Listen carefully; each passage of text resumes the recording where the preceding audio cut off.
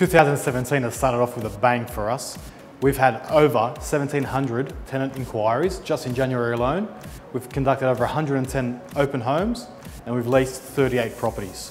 Some solid numbers to start off the year. Of those results, we were able to lease a number of properties within the first four days of listing them. The highlight of January was a leasing of three Flora Street Erskineville for $1,500 a week. A brand new four bedroom terrace, went to some great tenants, happy landlords. That's what we work for here at Raine and Horne Newtown.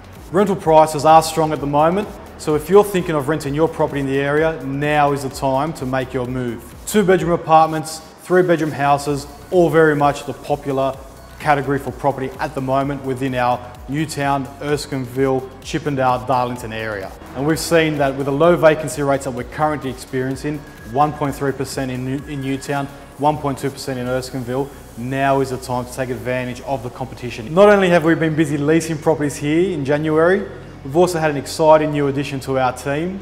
Kate Webster has joined Raine and Horne Newtown. I'll throw over to her now so she can explain to you why she loves selling in this area. Over the last 10 years, I've sold lots of properties to investors. So it's great to be able to steer them towards Adam and he can look after them and give them the best service that they can find in the marketplace. In the last few years, we've seen immense capital growth in the inner west, making property such a great investment for Australians. Recently, I've seen lots of young people buying their first property as an investment property because this is setting themselves up for later in life. Over the years, I'm seeing more and more people invest into this area because the property gives them high capital gain, low vacancy rates, and high rental return.